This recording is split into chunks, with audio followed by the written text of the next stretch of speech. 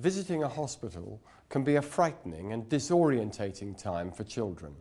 Radiographers Tracy and Valerie win this award for helping put children at their ease during their MRI scans.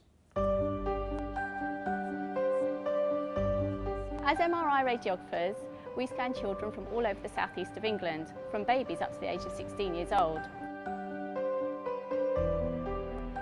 Get a good image there, the child needs to stay very still for about 20 to 40 minutes, lying inside a narrow tunnel which can be noisy and also claustrophobic.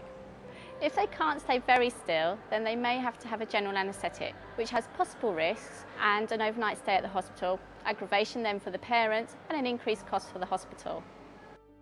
We felt that if they were able to see what was going to happen at their appointment, they would be less anxious about the test. At home, they receive a photo story with their appointment letter, and this shows them a little child coming to the hospital of a similar age.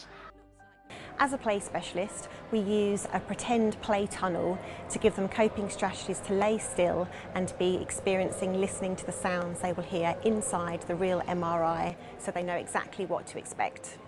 Since we rolled out this project, the children have been less anxious as they knew what to expect. The experience of MRI through Play project has enabled 100% of children to undergo effective MRI imaging without the use of anaesthetics, sedatives or other medical interventions. In today's climate, the funding for the Play Specialist isn't secure. We would make sure with Bupa Foundation Award, we made the Play Specialist position secure for two days a week for a year.